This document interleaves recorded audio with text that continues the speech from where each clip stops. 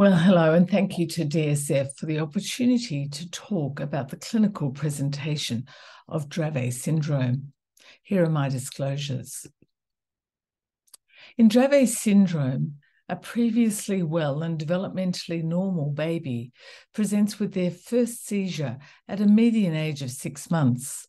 But if one looks at a large data set where it finds the youngest age they can present is six weeks up to 19 months of age. And here you see a little uh, baby I look after who's about eight months at this stage, but presenting with the classical seizure type seen in new onset Dravet, which is a hemiclonic seizure, right hemiclonic seizure. But is this always the way? And we teach that people with Dravet, babies with Dravet syndrome, present with febrile status with a hemiclonic seizure. When one looks at the data very carefully, one finds that just over half present with fever, but under 45% do not. And the median temperature is interestingly very low at 38.2 degrees Celsius, with a range up high to 41. Interestingly, 3% of children with Dravet syndrome never have a seizure triggered by fever, so fever is not an absolute. Again, we teach that people present with a, a hemiclonic seizure, but indeed more than half present with a generalized tonic-clonic seizure and about a third with a hemiclonic seizure.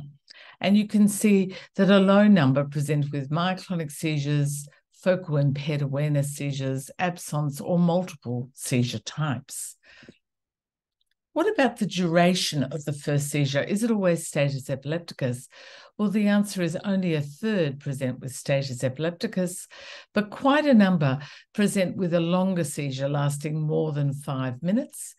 Equally, though, a quarter present with a brief seizure under five minutes. So, a brief seizure without a fever doesn't mean it's not Dravet syndrome.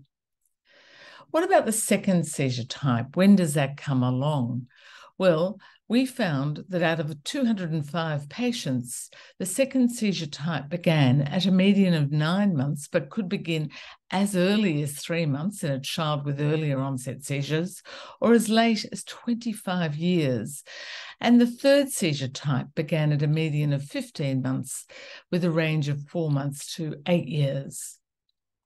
The duration of the first five seizures was not always uh, status epilepticus. In fact, here you see the median durations of the first five seizure types, and you can see that by the fifth seizure, the median is down to five minutes, although some individuals continue to have status epilepticus defined as more than 30 minutes.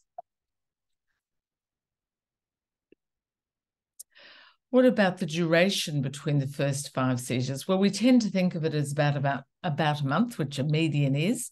But look at this the longest duration between the first and second seizure is 250 days. And similarly for the second of a third seizure. But then the, it narrows considerably to the third to fourth and fourth to fifth seizure of any type being a median of 21 and 24 days. And here you see some of the other seizure types that can occur in Dravet syndrome. And this is the first same baby I showed you a moment ago, a little bit older now. And she is having a focal impaired awareness seizure with loss of awareness, head and eye deviation to the right, and some autonomic features. Here you see a, a 21 month old boy Photic stimulation triggers a cluster of myoclonic seizures. Good boy. Oh. And there you see. He doesn't like it very much. And here you see another little boy with Dravet syndrome, and he has very frequent absence seizures with eyelid myoclonias. And you'll notice the um, eye flickering now, just a second and the loss of head tone associated with that. Um, and he's still quite interactive, but there you see the very rapid eye flickering. Same little boy now, a year later, and he's also having the similar absence seizures with eyelid myoclonias, but now with quite a few myoclonic components and indeed some atonic features. So here you see all the other seizure types that can occur in children with Dravet syndrome. And um, you can see that 96% will have tonic-clonic seizures and about two-thirds hemiclonic myoclonic focal seizures. Just over half have absence and over 20% have tonic and atonic seizures. Interestingly, non-convulsive status occurs in a quarter of patients, previously called obtundation status by the French, and convulsive status does not occur in all individuals, defined as 30 minutes. and it occurs in almost 90%.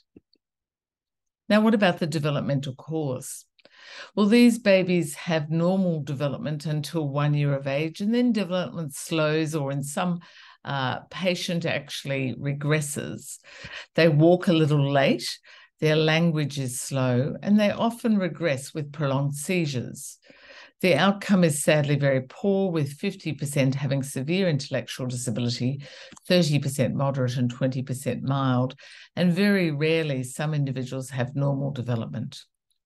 The developmental course, we talk about it going off with plateauing or regression after about one year of age.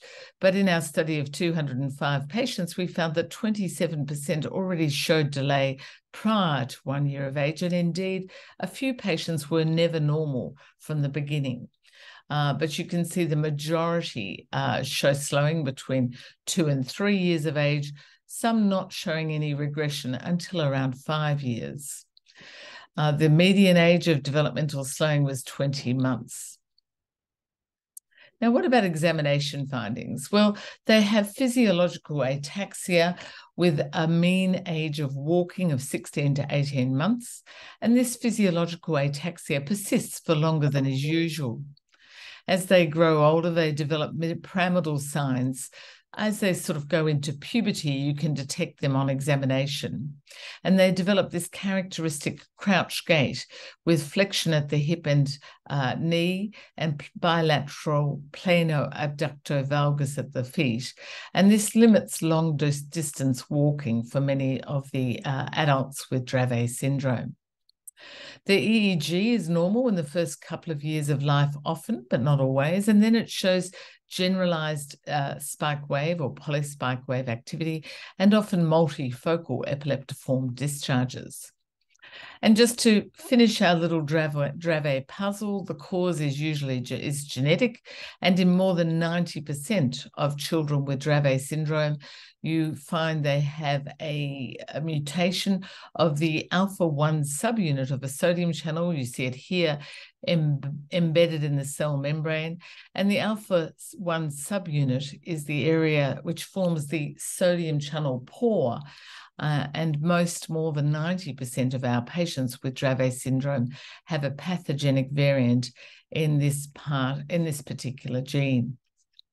And this puzzle hopefully gives you a good uh, gestalt of what Dravet syndrome looks like and the key features that make up this distinctive syndrome. Now, some of the data I've shown you is derived from our recent study, and in this we have uh, provided you with an algorithm of uh, the points I've just made to help you when you see a patient to diagnose uh, Dravet syndrome. Thank you very much.